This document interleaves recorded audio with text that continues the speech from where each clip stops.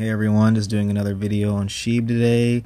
Noticed that we were having a major breakout. Saw that it started around the uh, four uh, four hour mark, but the uh, twelve o'clock mark here, noon to noon today.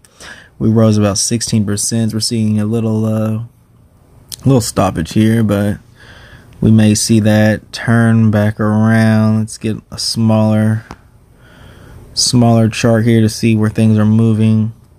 But yeah, oh, we're still going up. Yeah, we went from that's 17%. Let's see, it's about the same. Yeah, it's still moving. It's moving back up. So 12 today, we saw around a 16% gain. Um, looks like SHIB is gaining movement. We're not sure if this is from whales or what the catalyst could be. I know a lot of people are wanting this to be listed on Robinhood. Um, it's currently listed on Coinbase, Binance US, uh, Public. Shiba is also on Webull, I believe. But the only thing we're waiting for now is for it to get on Robinhood that would allow us to see a little bit more volume for those who don't really feel comfortable making a Coinbase or a Binance and or a public and would just wait for it on that network. Um, but yeah, we're, we're, seeing some major movement here today. We might delete a zero or just double the value here again. Um, then this upcoming week, we may see more of a movement with this movement here uh, now that a lot more people are showing to be interested in, especially on this weekend.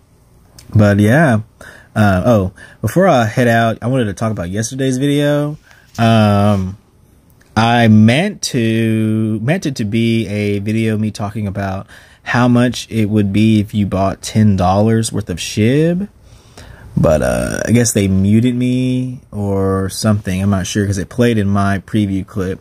But um, but yeah, ten dollars worth of SHIB gets you about like three hundred k of it, and if that were to hit like one dollar one cent, that'd be a great return on investment. Um, but the choice is yours on that one. Currently, I have a few uh, few websites where I've been investing from. I know uh, on my on my Coinbase, I have three three million. I'll gladly share, uh, and then on my especially, and I have a uh, three million on one of my crypto wallets. So about six million that I'm willing to share with you on my balance, but I have a little bit more. Um, I'm looking to see that this gets to a dollar. Hopefully that'd be pretty cool. But again, um, this is just my spe uh, speculation on the situation. Hope to see you guys later.